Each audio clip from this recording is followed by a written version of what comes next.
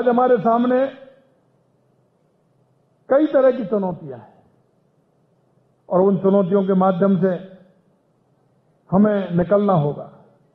क्योंकि विशेष समूह है, कभी धार्मिक कट्टरपंथा भी हमारे सामने आती है तो कभी हमारे सामने वो घटनाएँ आती हैं जो साइबर क्राइम जैसी घटनाएँ हों, उन घटनाओं को रोकने के लिए जिस तरह का प्रयास राजस्थान में किया है, विशेषकर मेवात में किया है, इसकी काफ़ी सराहना है। मैं इसके लिए भी आपको धन्यवाद देता हूँ।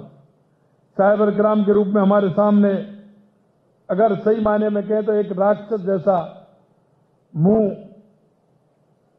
फाड़े खड़ा है कि जो साइबर क्राइम की स्थिति पूरे देश के अंदर बढ़ती जा रही है।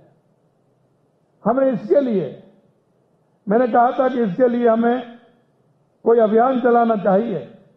और उस अभियान के माध्यम से ऐसे लोगों को अगर कड़ी सजा मिलेगी तो निश्चित रूप से साइबर क्राइम भी हमारा कम होगा।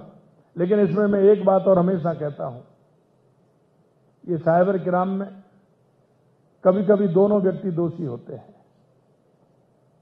हमारे मेवात में होता है उन सभी को पता है कि यहाँ जगह जगह पुलिस ने लिखा रखा है कि नक्कालों से सावधान सोने की खरीदने से बचें। लेकिन फिर भी लोग आते हैं। कई लोग तो मैंने ऐसा देखा है जो मेरे पास कई सिफारिश में आते थे, वो कहते थे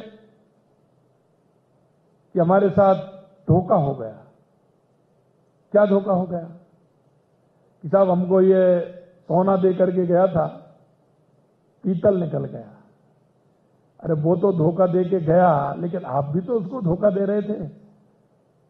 आप भी तो एक लाख के माल को पाँच हज़ार रुपए में खरीद रहे थे। तो उससे बड़े दोषी तो आप भी हैं। और इस तरह के जो धोखे धड़ाके जो होते हैं, मैं कहना चाहता हूँ कि कबूतर जब आए, जाल में जब आएगा, जब उसमें दाना डलेगा। तो अगर दाने की चिंता करोगे तो फिर जाल की चिंता कौन करेगा? आप उस दाने को तो खाना चाहते हैं तो जाल से कैसे बच पाओगे? जाल तो इसीलिए, दाना इसीलिए तो डाला है कि आप जाल में आए। तो इसको भी थोड़ा सा जो उसमें फंसने वाले हैं, वो किस लोभ के कारण फंसे हैं? उन पर भी कहीं ना कहीं कोई आपराधिक कानून के आधार पर जुर्म बनता है। लेकिन हम उनकी तरफ़ ध्यान नहीं देते हैं। क्योंकि वो भी दस जगह जाकर के इस बात को कहेगा कि मैं भी तो फोकट में ही लेना चाह रहा था।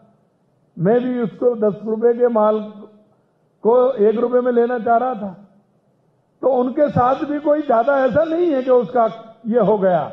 क्योंकि वो भी कोई साहूकार नहीं है। वो भी पहले उसको जाल में फंसाना चाहता था, लेकिन वो भी अपराधी है तो उसके साथ भी कोई ऐसा व्यवहार करने की आवश्यकता नहीं है। ऐसे लोगों के साथ भी कड़ा व्यवहार किया जाए जो सस्ते में माल खरीदने का काम करते हैं।